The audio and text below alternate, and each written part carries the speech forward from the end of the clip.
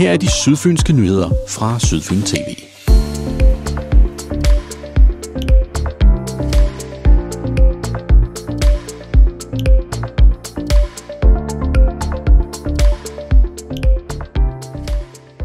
Bo Hansen tager ansvar. Borgmestrene fra Svendborg og Langeland kommuner er ikke bekymrede for, at der opstår udfordringer for beredskabet, hvis der opstår brænde to steder samtidig. Det skriver Fyns Amtsavis. Politikerne har bedt beredskabet om at skære 2% af udgifterne. Det får konsekvenser som fratagelse af en tankvogn fra Svendborg, hvilket reducerer kapaciteten til at håndtere flere samtidige brænde.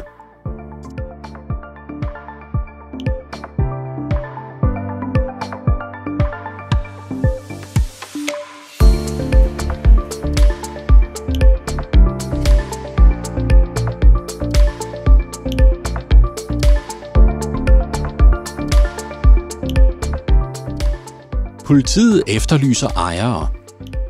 Fyns politi har under en større rensagning fundet en mængde 20 koster stjålet i sensommeren. Politiet søger ejere til genstandene og opfordrer offentligheden til at hjælpe med opklaringen af flere sager. Det skriver Fyns Amtsavis. Der er allerede sigtet en person, og der er mistanke om flere involverede gerningsmænd. Fyns politi retter i øvrigt en tak for tips fra opmærksomme borgere, der førte til rensagningen.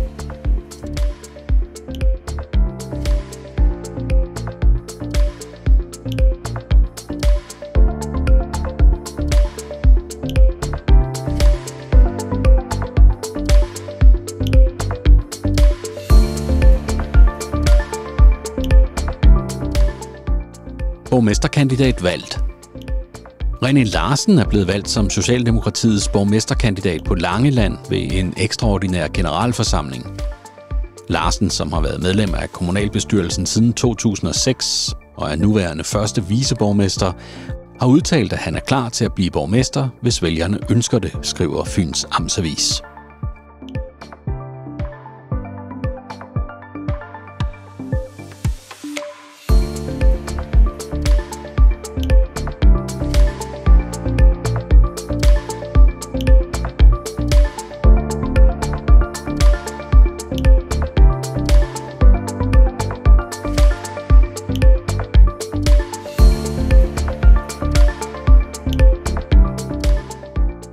Svendbypuljen er uddelt. Svendborg Kommune har fordelt 650.000 kroner fra Svendbypuljen til 16 forskellige projekter. Pengene skal blandt andet bruges på byfester, en ny bænk, åbning af et læringsfællesskab på Naturlegepladsen i Svendborg, et barselsfællesskab samt oprettelse af et bydelshus, der skal fremme lokale aktiviteter. Det er Svendborg Kommunes borgere, der har haft mulighed for at stemme på de forskellige indstillede projekter.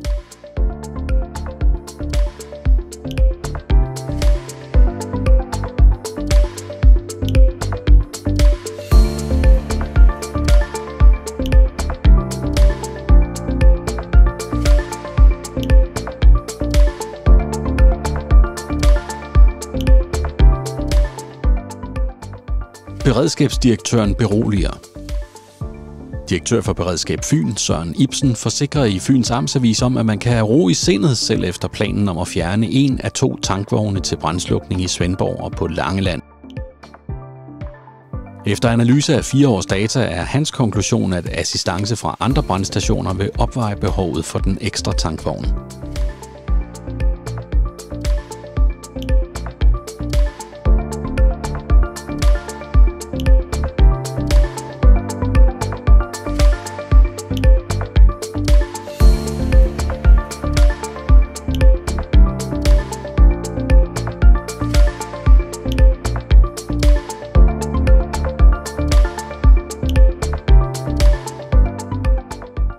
Grønt lys til kæmpe vindmøller. Godkendelse til at opføre tre 150 meter høje vindmøller, der skal skabe strøm til omkring 9.000 husstande, er endelig givet til erhvervsmanden Lars Kronshage fra Nordsjælland, skriver Fyns Amtsavis. Til trods for modstand fra lokale beboere og bekymringer for dyrelivet, har Planklagenævnet og Miljø- og Fødevareklagenævnet stadfæstet kommunens afgørelser, sådan at Kronshage kan fortsætte sit mølleprojekt ved Broholm Gods.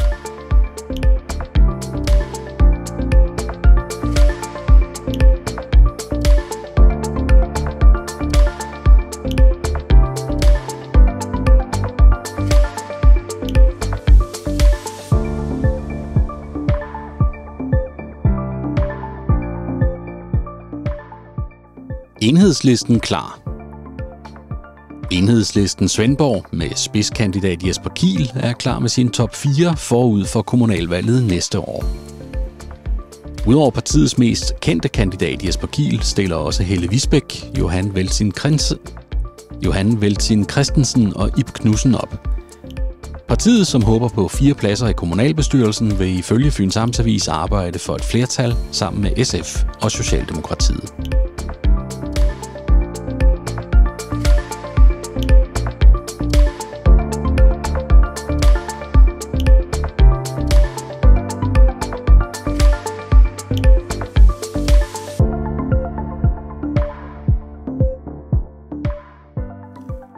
Sparkassen Sjælland Fyn deler ud. Sparkassen Sjælland Fyn har åbnet boksen og uddelt penge til gode formål i Forborg. Fire gange om året uddeles der penge til lokale projekter, og denne gang er det blandt andet fodboldklubben SFF 2015, der har modtaget 25.000 kroner, og det nye initiativ Forborg Fjordhave, der har fået 20.000 kroner. Banken opfordrer flere fra Forborg-området til at ansøge om støtte.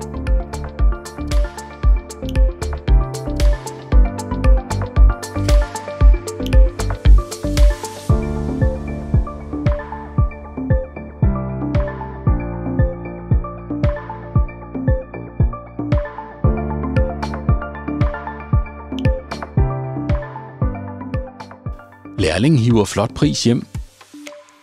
Lærling hos industrivirksomheden Jeros i Ringe, Oliver Ellegaard Hinch, er blevet tildelt metalindustriens lærlingepris. En anerkendelse for høje præstationer, både i skole og på job, det skriver Fyns Amtsavis. Prisen, der kræver indstilling for både erhvervsskole og læreplads, uddeles årligt til 25 lærlinge fra forskellige brancher inden for metalindustri i forbindelse med et arrangement i Dansk Industri i København.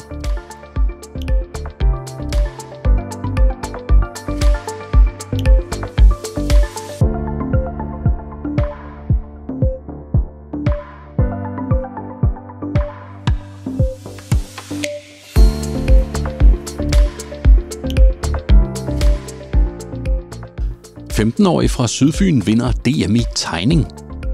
Johan Vitrup Vinter fra Ringe har vundet DM i tegning 2024 i kategorien Character for de 14-21-årige, skriver Fyns Amtsavis. Arrangementet fandt sted i Silkeborg, og Johan vandt over 47 andre dygtige unge tegnere. DM i tegning er en del af projektet Alle Tegner, støttet af Spar Nordfonden.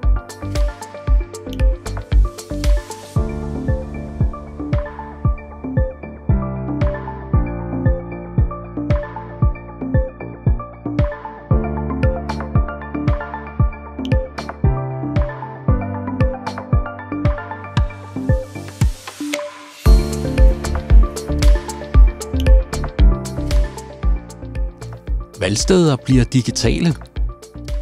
Valgstederne i Svendborg afskaffer de gamle valgbøger. Det skriver Fyns Amtsavis.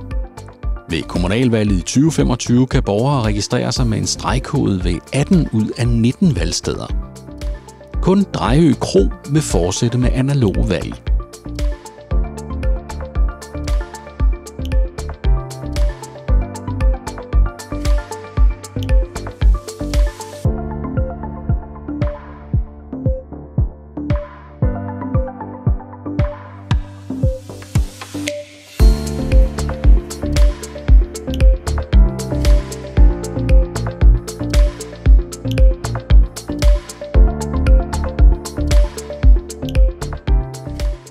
Lettere adgang til hjælp.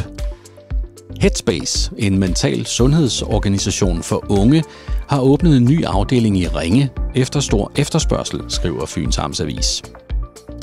Her kan unge mellem 12 og 25 år få gratis og fortrolig hjælp.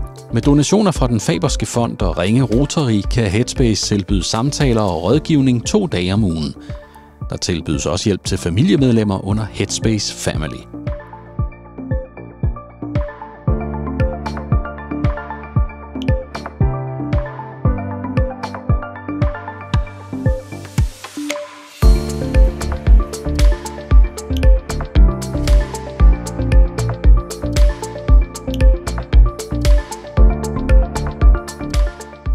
Fynske unge i tusindvis skal have hjælp. Alt for mange unge på Fyn og øerne er hverken i job eller uddannelse, og nu gøres et nyt forsøg på at hjælpe de mange unge, for regeringen har sammen med SF, Konservative og det radikale Venstre afsat mere end 1,3 milliarder kroner frem til 2035, skriver TV2 Fyn. Pengene skal bruges på et nyt nationalt partnerskab med navnet Ungeløftet, der her i området skal hjælpe de næsten 4.000 unge, som hverken er i arbejde eller under uddannelse.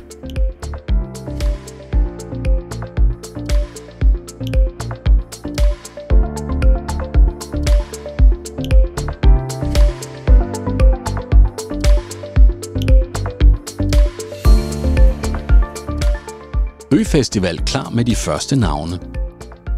Langelands Øfestival, den nye festival på Rue Mark, har afsløret de første navne til næste sommers program. Musikbudgettet er udvidet en del, således at der næste år bliver plads til blandt andet Nick Jay, Lis Sørensen, Jada og Turbo Weekend. Øfestival afvikles næste år omkring den sidste weekend i juli.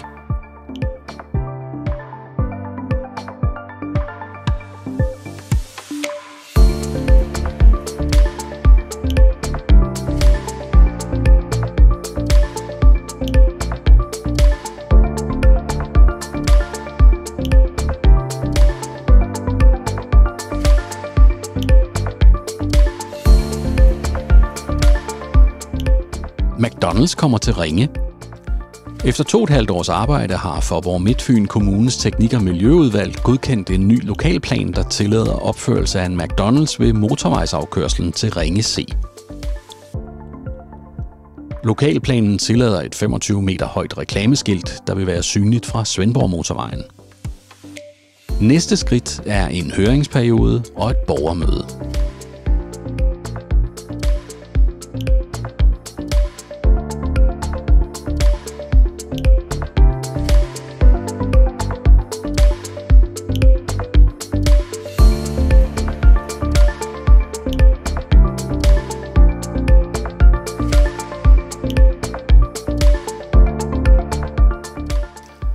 Varmepumperne vinder frem på Ærø. På trods af en national stigning siden sidste efterår, er strømforbruget faldet på Ærø. Blandt andet takket være brugen af varmepumper i 10% af boligerne på øen, skriver Ærø Dagblad. Dette gør Ærø til den femte bedste kommune i Danmark til strømbesparelse, med et fald på 4% fra 2022 til 2023, ifølge tal fra Videnscenter Bolius, Energidataservice og Danmarks Statistik.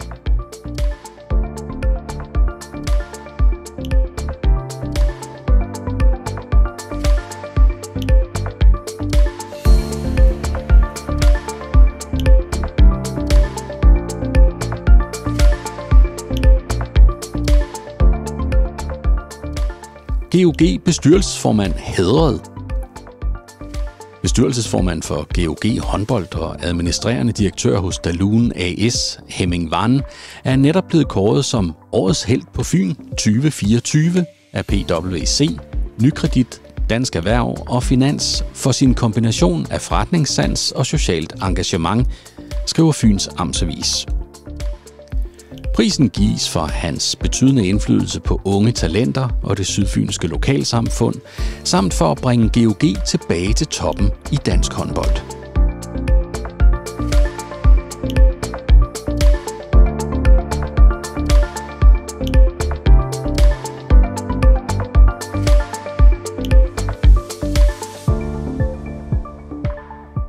Heltemod belønnet. Tuko-kollegerne Jakob Frost og Allan Winter Hansen har modtaget en hæderspris på 10.000 kroner hver fra Østifternes Fond. De reddede forleden en ældre mand fra druknedøden, efter han ved et uheld havde kørt sin bil i Forborg Havnebassin, skriver Fyns Amtsavis. Forslaget til hædersprisen kom fra et fondsmedlem, der læste om hændelsen.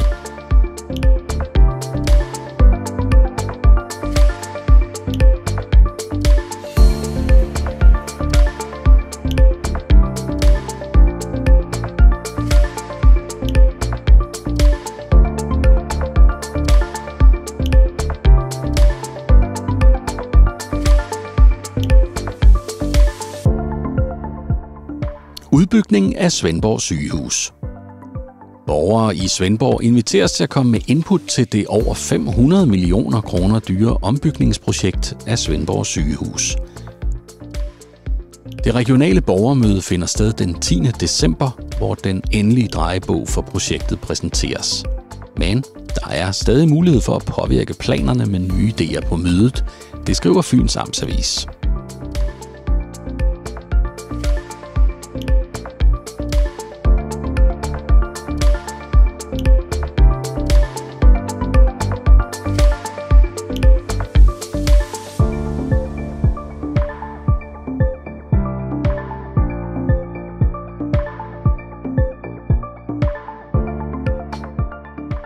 Det var denne uges Sydfynske Nyheder på Sydfyn TV.